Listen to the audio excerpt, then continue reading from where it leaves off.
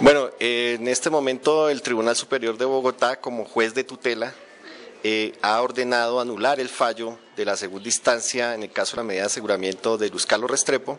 Eso quiere decir que queda vigente la decisión de primera instancia, es decir, la orden de captura, y dentro de los cinco días se debe tomar una decisión ajustada a derecho. Nosotros alegamos que lo que había decidido la juez era una decisión eh, ajena al acervo probatorio, a la evidencia física, a la evidencia documental, y el tribunal considera que eso ha sido así y por lo tanto ha considerado que, que hubo una vía de hecho y anuló la decisión de segunda instancia. En este momento el señor Luis Carlos Restrepo queda con la orden de captura vigente y habrá que esperar que en cinco días se vuelva a resolver el recurso de apelación sobre la medida de aseguramiento. ¿Cuáles los alcances de este fallo?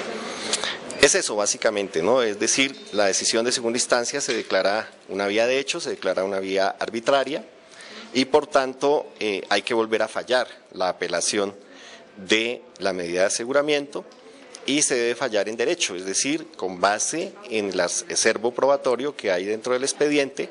Recordemos que con ese mismo acervo probatorio se le impuso medida de aseguramiento también eh, al general Tocarruncho y también al coronel Castellanos y por lo tanto nosotros consideramos que la decisión en derecho es mantener la medida de aseguramiento por estos hechos. Si sale a favor, ¿qué pasaría? Bueno, el proceso va a seguir, el juicio va a seguir en todo caso con medida de aseguramiento o sin medida de aseguramiento, pero nosotros eh, hemos creído que hay que hacer el trámite para la orden de captura internacional y que el señor Luis Carlos Restrepo debe responder ante la justicia colombiana por los presuntos delitos que cometió siendo alto comisionado para la paz. Muchas gracias.